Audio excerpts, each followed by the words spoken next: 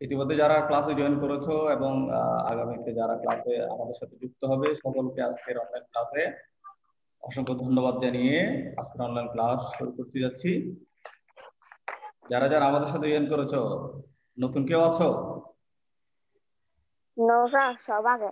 Good very good Sara join করেছে গতকাল সারা উপস্থিত ছিল না ক্লাসে আশরাফুল আমাকে শুনতে পাচ্ছ? হ্যাঁ স্যার। ভেরি গুড তোমরা সবাই আনমিউট করো। জাস্ট ক্লাসটা যখন আমরা ফুললি শুরু করব তখন তোমরা কি করবা? মিউট করব। আমি যাকে কমান্ড করব যাকে বলতে বলব ওর একটা বিষয় উত্তর যাতে চাইব তখন তোমরা আনমিউট করে আমার সাথে কথা বলো ঠিক আছে? এখন আপাতত কি করো? সবাই আনমিউট করো সবার সাথে কথা বলি ঠিক আছে?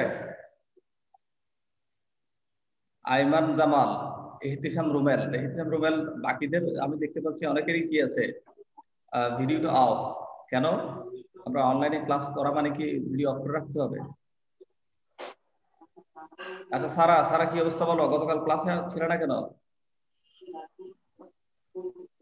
বলো। সারাকে শুনতে পাচ্ছি না আমি। আর একটু ভলিউম দাও, তোমার এই ভলিউমটা এই পর্যন্ত আসতেছে না।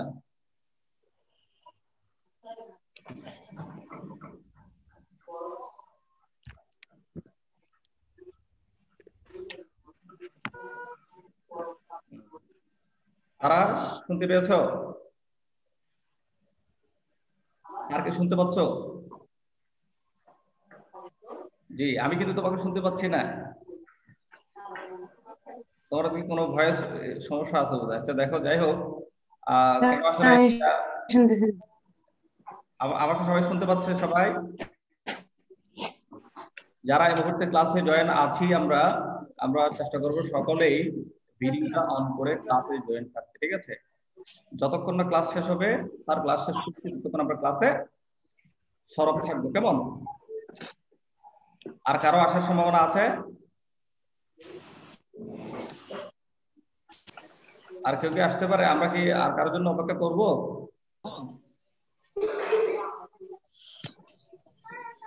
আমরা বোধহয় ক্লাস শুরু করে দেওয়াটাই বোধহয় ভালো হবে। কি বলো? ঠিক আছে সকলে সুস্থ আছো আশা করি।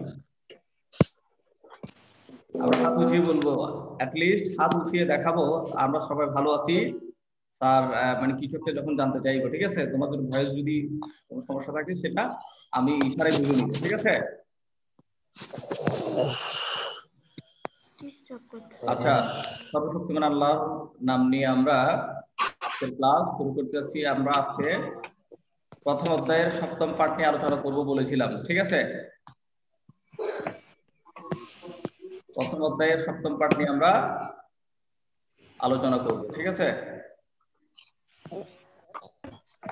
প্রথম অধ্যায়ের কি আছে আমরা একটু দেখব। সবাইকে ওয়েলকাম তপশিল স্কুলের অনলাইন ক্লাসে সাথে আছি আমি মোহাম্মদ ইসহাক, তোমাদের বিজিএস পড়াচ্ছি। ইতিমধ্যে আমরা স্ক্রিনে কি দেখতে পাচ্ছি? আমার, আমরা যে বইটি নিয়ে আজকে, যে বইটি নিয়ে এখানে পড়তে বসেছি এই ঘন্টায়, কেমন? তৃতীয় ঘন্টায়। বইয়ের মলাট আমরা এখানে স্ক্রিনে লক্ষ্য করছি। পাশাপাশি কোন অধ্যায়ের কোন পাঠ নিয়ে আমরা আলোচনা করব? লেকচার প্রথম, সেটাও এখানে উল্লেখ করা আছে।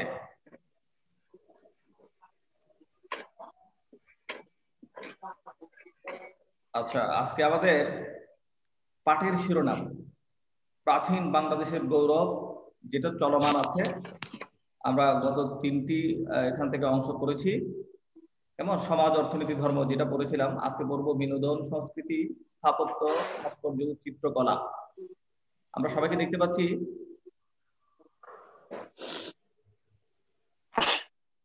রোমেল রোমেল এসছো? এতক্ষণে কেন? আমরা সবাইকে দেখতে পাচ্ছি।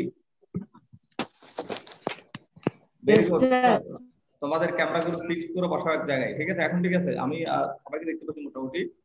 যারা এখনও ভিডিও অফ করে রেখেছে তাদেরকে রিকোয়েস্ট করব ভিডিও অন করেই যাতে আমরা ক্লাসে থাকি। কেমন?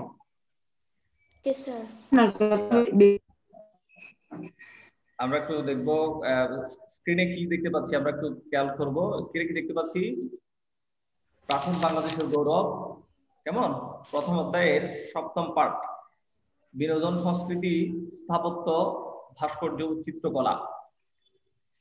এই পাঠ থেকে আমরা আজকে কিছু প্রয়োজনীয় তথ্য কেমন? পাঠের আলোকে শিখে নেব। আচ্ছা এই পাঠ থেকে আমরা কি শিখব? বিনোদনী সংস্কৃতি স্থাপত্য ভাস্কর্য চিত্রকলা সম্পর্কে জানতে পারব কেমন?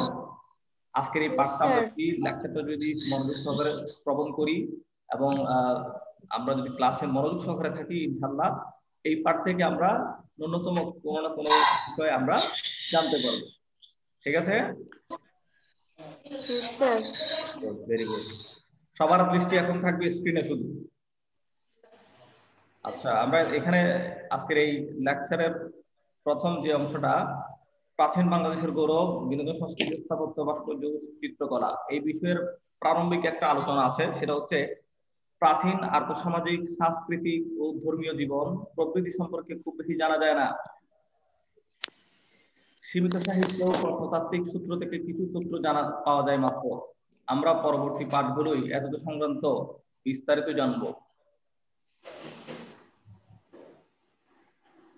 আচ্ছা এই মুহূর্তে আমরা দেখতে পাচ্ছি বিনোদন সংস্কৃতি স্থাপত্য ভাস্কর্য চিত্রকলা, এই তিনটা পার্ট তিনটা অংশ, কেমন? এই তিনটা অংশ সম্পর্কে আমরা সামনের স্লাইডগুলোতে ধীরে ধীরে জানব। প্রথমে আসে বিনোদন সংস্কৃতি। বিনোদন বলতে আমরা কি বুঝি? সারার কাছে প্রশ্ন সারা বলো বিনোদন বলতে আমরা কি বুঝি? নাচ বিনোদন মানে আনন্দ করা। ভেরি গুড খুবই এক্সেপশনাল এবং খুবই যথাযথ আনসারের একটা আমরা পেলাম। বিনোদন মানে হচ্ছে আনন্দ কেমন? উপভোগ করা। কোনো কিছুকে কোনো গান বলো কোনো নাচ বলো কোনো মনের একটা খোরাক দেওয়া হ্যাঁ কে এসছো এটা? সালাম দিয়েছ কে ইশরাক। ইশরাক আমার নামের কাছাকাছি। যাই হোক আমি যে বিষয় করছিলাম তোমাকে ওয়েলকাম ক্লাসে জয়েন করেছি এই জন্য। যে যে বলছিলাম বিনোদন। কারও কোনো প্রশ্ন থাকলে প্রশ্নটা স্যারের সাথে শেয়ার করবে। এহতিসাম রুমেল তোমার ভয়েসটা আনমিউট করো।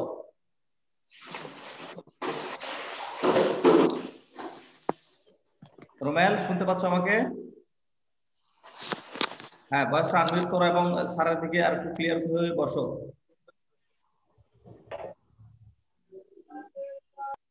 আচ্ছা যে বিষয় এখন বলছি, বিষয় হচ্ছে বিনোদন শব্দের অর্থ আমি তোমাদের কাছ থেকে জানতে চেয়েছিলাম। বিনোদন শব্দের অর্থ হচ্ছে মনের খোরাক দেয়া, কেমন? মানে কোনো কিছু আনন্দের সাথে উপভোগ করা। ঠিক আছে? সংস্কৃতি সংস্কৃতি মানে হচ্ছে যে কোনো ধরনের একটা উৎসব। ঠিক আছে? যেগুলোর মাধ্যমে আমরা ঐতিহ্যকে লালন করে থাকি ঐতিহ্যের সাথে থাকি। সেটা হচ্ছে কি? সংস্কৃতি। তাহলে আমরা আলোচনায় কি আছে সেটা একটু করে দেখি। প্রাচীন যুগে বাংলাদেশে বিনোদন ও ধর্মকর্মের অংশ হিসেবে নাচ, গান, নাটক, মল্লযুদ্ধ, কুস্তি খেলার প্রচলন ছিল। তাহলে প্রাচীন যুগে বাংলাদেশে বিনোদন ও ধর্মকর্মের অংশ হিসেবে কোন কোন বিষয়গুলো প্রচলন ছিল। আমরা কি বলতে পারব? ইশরাক শুনতে পেয়েছ? আমরা কি বলতে পারব? বিনোদন বললে আমরা এই বিষয়গুলো কি বলতে পারব? বিনোদন বলতে নাচ গান নাটক মল্লযুদ্ধ কুস্তি খেলা। এই ধরনের বিষয়গুলোকে কি বলা হয়? বিনোদন। এই ধরনের বিষয়গুলোকে কি বলা হয়? বিনোদন। কেমন? তাহলে প্রাচীন যুগে কিন্তু বিনোদন ও ধর্মকর্মের একটা অংশই ছিল এগুলো। বিনোদন ও ধর্মকর্মের অংশই ছিল কি? এগুলো। আচ্ছা আমি আমি একটু বইয়ের দিকে যাচ্ছি। বইয়ে তোমরা একটু লক্ষ্য করলে দেখবে পাহাড়পুর বৌদ্ধবিহারে নাটক মঞ্চস্থ হওয়ার প্রমাণ পাওয়া যায়। তোমরা সপ্তম পৃষ্ঠায় যদি একটু খেয়াল করো, দেখবে পাহাড়পুর এটা একটা জায়গার নাম বৌদ্ধবিহারে নাটক মঞ্চস্থ হওয়ার প্রমাণ পাওয়া যায়। তাহলে আমরা একটা বিষয় পেলাম। এখানে একটা সংক্ষিপ্ত প্রশ্ন হতে পারে কোন জায়গায় নাটক মঞ্চস্থ হওয়ার প্রমাণ রয়েছে? ইশরাক বুঝতে পেরেছ? হাত উঁচিয়ে বললে বুঝব। হাত উঁচিয়ে বুঝতে পেরেছি ঠিক আছে?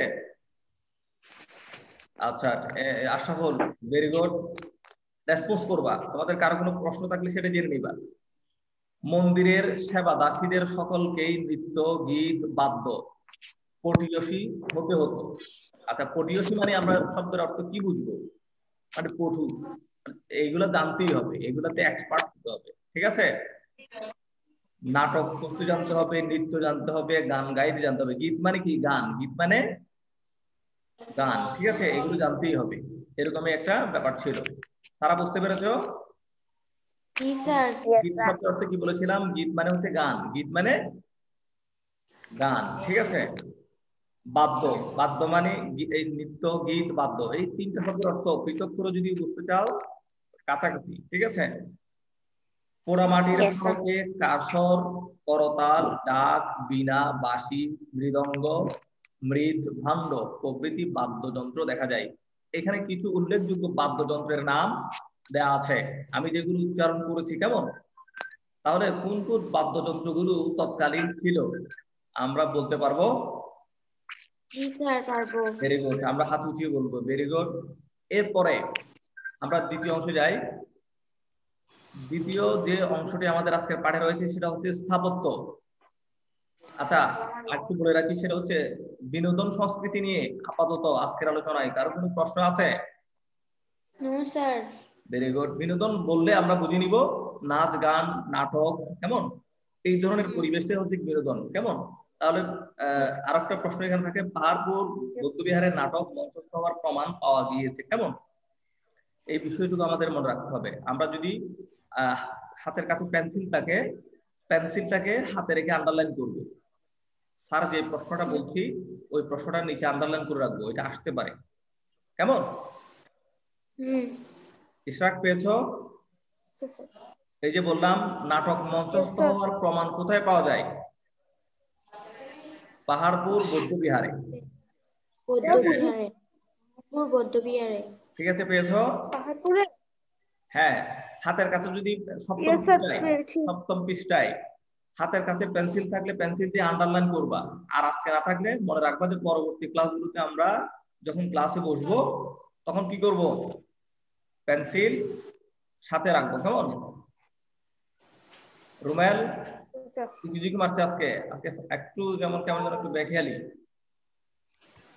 আচ্ছা এবার স্থাপত্যই আমরা দেখি কি আলোচনা বইয়ে রয়েছে। যদিও এখানে একটু আহ, লেখাটা যেটা আছে সেটা হয়তো আগের পাঠের আলোচনা। স্থাপত্যের মধ্যে বইয়ে দেখো তোমরা একটু। ওয়ারে ভটেশ্বর ও পন্ড্রনগরে ইট নির্মিত স্থাপত্য আবিষ্কার হয়েছে। তোমরা একটু বইয়ে খেয়াল করো। স্থাপত্য ওয়ারি ভটেশ্বর ও পন্ড্রনগরে ইট নির্মিত। ইট নির্মিত মানে ইট দিয়ে তৈরি। ঠিক আছে?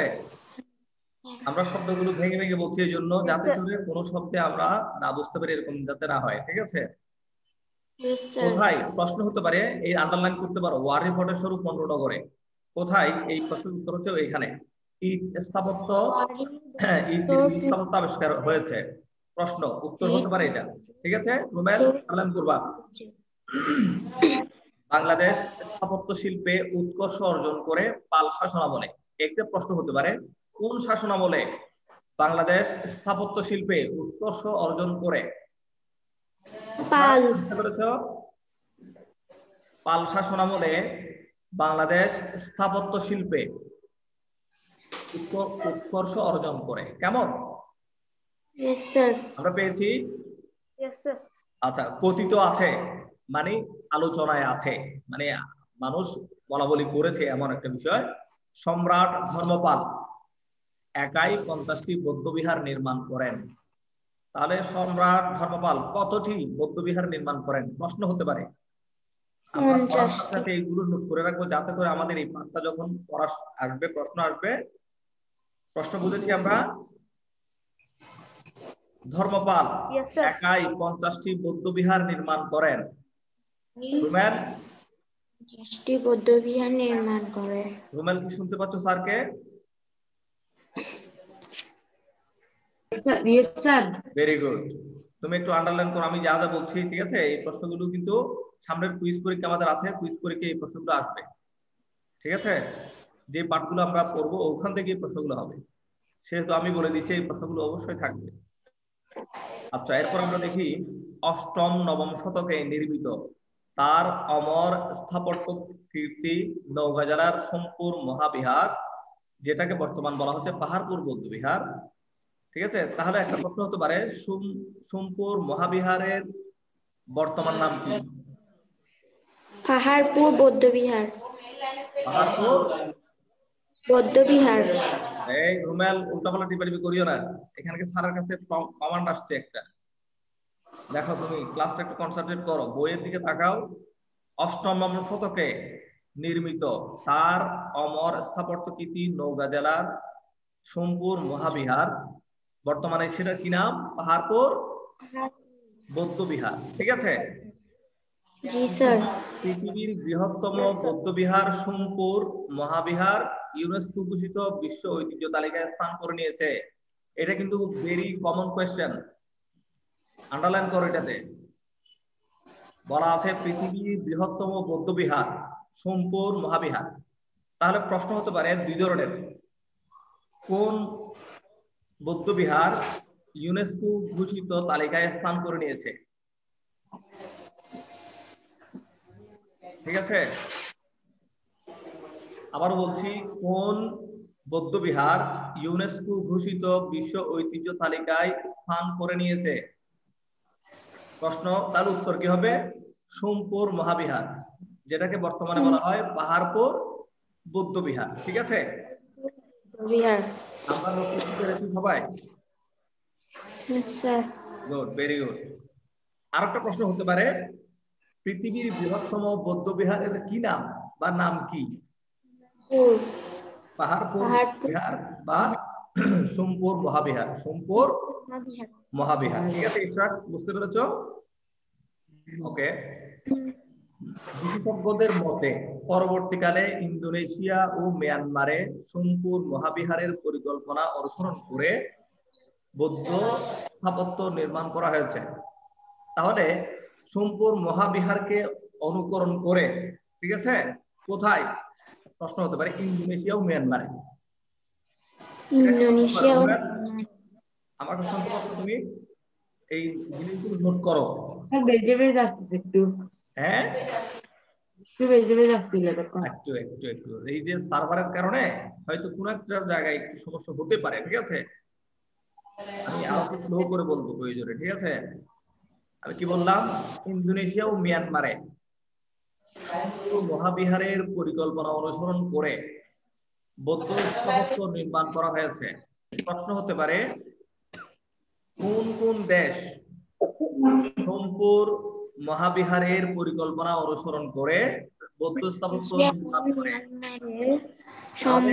কোন কোন দেশ যখন বলে দিয়েছি ইন্দোনেশিয়া মিয়ানমার। ইন্দোনেশিয়া ও মিয়ানমার ঠিক আছে? ভেরি গুড ময়নামতির শালবন বিহার এবং আবিষ্কৃত। স্থাপত্য সমূহ বাংলাদেশের স্থাপত্য শিল্পের ইতিহাসে গুরুত্বপূর্ণ সংযোজন। আমরা এইটুকু জাস্ট পড়ব, জেনে যাব। শালবন বিহার এবং সম্প্রতি আবিষ্কৃত। সম্প্রতি মানে খুব মানে কাছাকাছি সময়ে, ঠিক আছে? যেটাকে ইংরেজি ভাষায় বলা হয় লেটেস্ট ঠিক আছে? সম্প্রতি আবিষ্কৃত মানে পাওয়া গিয়েছে। ঠিক আছে?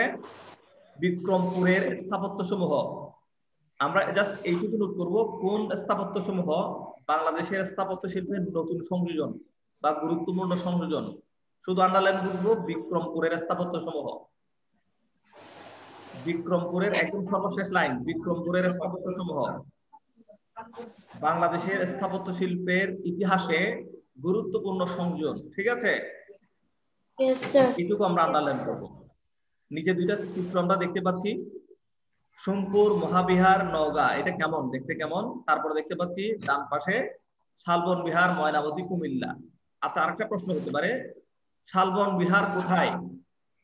উত্তর কি হবে? ময়নামতি কুমিল্লা। কুমিল্লা। লিখে তোমার উত্তরটা নিব। ঠিক আছে ইশরাক?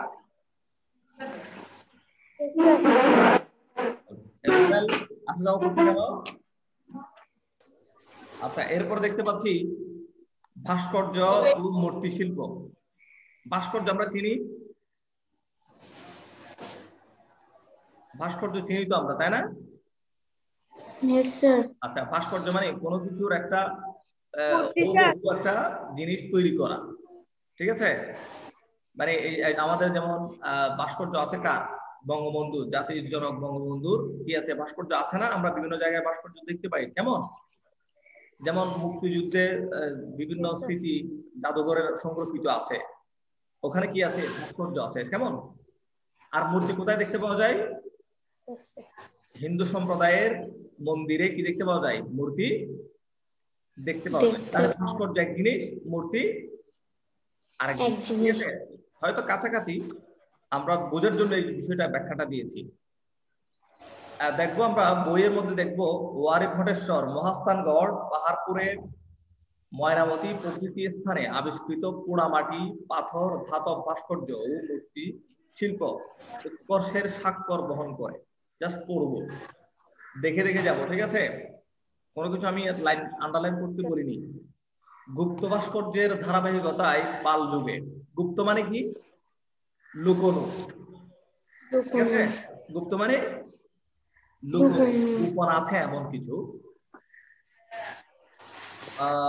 ভাস্কর্যের ধারাবাহিকতায় পাল যুগে ভাস্কর্য শিল্প এক নতুন রূপ লাভ করে যাকে আখ্যা দেওয়া হয়েছে পাল স্কুল অফ স্কাউট বলা হচ্ছে লাচার। আচ্ছা আর্ট নামে। তাহলে এখানে জাস্ট একটা প্রশ্ন হতে পারে। Pala school of sculpture art কি? এটা লিখে রাখো পাল যুগে ভাস্কর্য শিল্প নতুন রূপ লাভ করে যে নাম হয়েছে সেটা কি? Pala. School of culture art. Pala school of culture art. কেমন? এরপর দেখতে পাচ্ছি বাংলাদেশের ভাস্কর্য শিল্প স্থান করে নিয়েছিল সর্বভারতীয় শিল্পকলার আসরে। পাল যুগের দুই বিখ্যাত ভাস্কর্য চিত্রশিল্পী বিমান পাল ও বিট পাল সুখ্যাতি অর্জন করেন। পাল যুগের দুই বিখ্যাত চিত্রশিল্পীর নাম কি? প্রশ্ন। চিত্রশিল্পী ধীমান পাল বিট পাল। আন্ডারলাইন করে দাও। তোমার বই আন্ডারলাইন করে দাও কি বলেছিলাম পাল যুগের দুই বিখ্যাত ভাস্কর্য চিত্রশিল্পী নাম কি? তারা ধীমান পাল ও বিট পাল। ধীমান পাল? আচ্ছা সেন যুগে শ্রেষ্ঠ শিল্পী ছিলেন সুলপানি। এটা এটা খুবই গুরুত্বপূর্ণ প্রশ্ন। সুলপানি কে? সুলপানি কে? আমি বিভিন্ন প্রশ্ন দিতে পারি অথবা সেন যুগের শ্রেষ্ঠ শিল্পীর নাম কি? হ্যাঁ সেন যুগের শ্রেষ্ঠ শিল্পীর নাম সুলপানি, ঠিক আছে? আচ্ছা এরপরের আরেকটা বিষয় আছে, সেটা হচ্ছে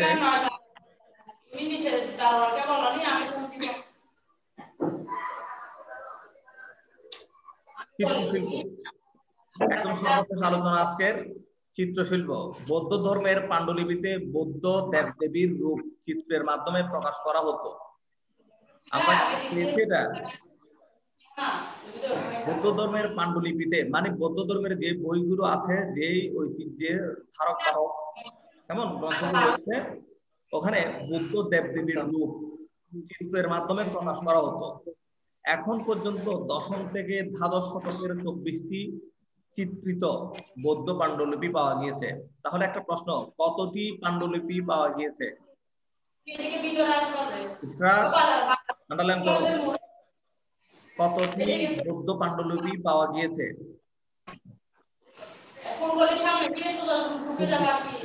রুমেল।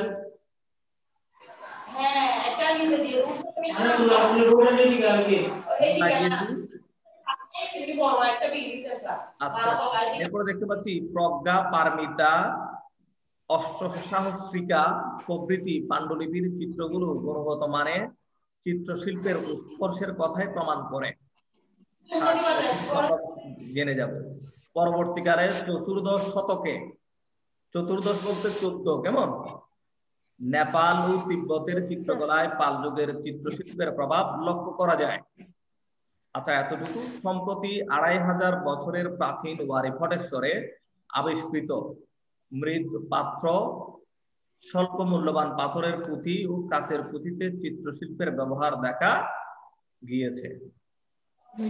আজকের আলোচনা এইটুকুই। আমরা কি যে যেগুলো বলেছি ওগুলো দাগিয়েছি? জি স্যার।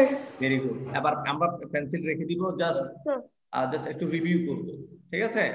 আমি কোয়েশ্চেন করব তোমরা চেষ্টা করবে অ্যানসার করার জন্য ঠিক আছে? করব কাছাকাছি উত্তর হলেও হবে এক একেবারে যে বলে ফেলতে এমন কোনো কথা নেই ঠিক আছে? চেষ্টা করব।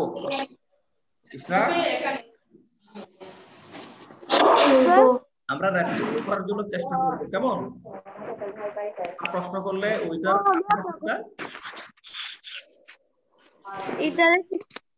আচ্ছা আমি প্রশ্ন করছি তোমরা একটু দেখো এই যে মূল্যায়ন করব। এখন তোমাদের কারও কোনো প্রশ্ন থাকলে ঠিক আছে? যেমন আমরা তাকিয়েছিলাম ধর্মপাল একা কতটি বৌদ্ধবিহার স্থাপন করে? সারা বলো। পঞ্চাশটি বৌদ্ধ বিহার। ভেরি গুড সারা হ্যাঁ কতটি বল না। পঞ্চাশটি কতটি আচ্ছা ইউনেস্কো ঘোষিত বিশ্ব ঐতিহ্য তালিকায় স্থান করে কোন বৌদ্ধবিহার? তারিখের থেকে বেশি দুজনেই? আবারও বলছি আওয়াজ তালিকায় স্থান করে নিয়েছে কোন বৌদ্ধ বিহার। পাহাড়পুর বৌদ্ধ বিহার। আশাবল ইসরা প্রশ্ন বুঝতে পেরেছ? সোমপুর সোমপুর বিহার। সোমপুর মহাবিহার বা মহাবিহার সোমপুর মহাবিহার। পাহাড়পুর বিহার ঠিক আছে? ঠিক আছে। ইয়েস স্যার স্যার কোন কোন দেশ সোমপুর মহাবিহারের পরিকল্পনা অনুসরণ করে বৌদ্ধ স্থাপত্য নির্মাণ করে? ইন্দোনেশিয়া ও মায়ানমার। ইন্দোনেশিয়া ও. তাহলে এতটুকু আমরা জেনে গেলাম ঠিক আছে? পরের থেকে তোমাদের দু একটা আহ, পালযুগের পাল যুগের বি- আহ, পাল যুগের বিখ্যাত নাম বলো। পাল যুগের দুজন চিত্রশিল্পীর নাম বলো। বিখ্যাত চিত্রশিল্পীর নাম? পাল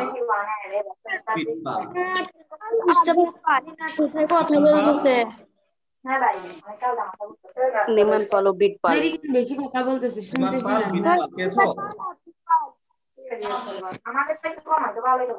কোনো সমস্যা হচ্ছে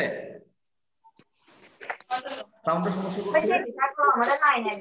আইমানের ওখানে আচ্ছা দেখো আর এদিকে শোনা যাচ্ছে না কাদের এখান থেকে বেশি আচ্ছা বলা হচ্ছে দশম থেকে দ্বাদশ শতকের দ্বাদশ শতকে কতটি বৌদ্ধ পাণ্ডুলিপি পাওয়া যায়? কতটি বলেছিলাম? কয়টি? চব্বিশটি কয়টি? আচ্ছা আমরা ক্লাস শেষের পথে প্রায়। কারও কোনো প্রশ্ন আছে আজকের ক্লাসের উপরে? কি? কি? দিচ্ছি এসডব্লিউ সামনে আসবে। এসডব্লিউ হচ্ছে এটা। আমি তোমাদের স্কুল অ্যাপসে এসডব্লিউ দিয়ে দিব ঠিক আছে? আমরা করিয়েছি। চলমান প্রথম অধ্যায়ের রুমাল লিখে রাখো।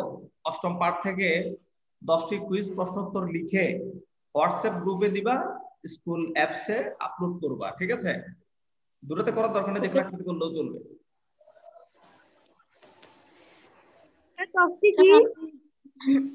বুঝি নাই? সংক্ষিপ্ত প্রশ্ন উত্তর। হ্যাঁ প্রশ্নোত্তর এক কথায়। এক লাইনে যে প্রশ্নগুলো আমি বলেছি ওরকম করে আগামী চ্যাপ্টার থেকে কি করবে? দশটি কুইজ প্রশ্ন তো তোমাদের মতো করে লিখে এখানে দিয়ে দিবে ঠিক আছে? Okay sir okay very good okay sir আমি অবশ্যই এই জিনিসটা কোথায় দিব? স্কুল অ্যাপসে তোমরা এইচডব্লিউ তে পাবা। তোমরা কি এইচডব্লিউ স্কুল অ্যাপসে চেক করো? ওকে ইয়েস স্যার চেক করবা। স্কুল অ্যাপসে ই লার্নিং মডিউলে তোমরা দেখবা এবং এসডব্লিউ তোমার এসডব্লিউ মডিউলে তোমরা দেখবা। এসডব্লিউ গুলো ওখানে দেওয়া আছে। কেমন? Yes,